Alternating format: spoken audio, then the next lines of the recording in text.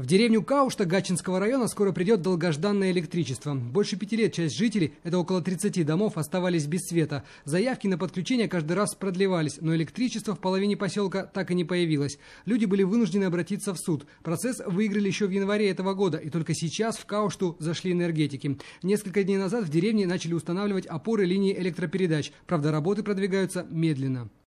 Вот я сейчас как раз вот на участке, да, поставили столбы, да, как бы, может быть, будет подстанция, я думаю, что она будет.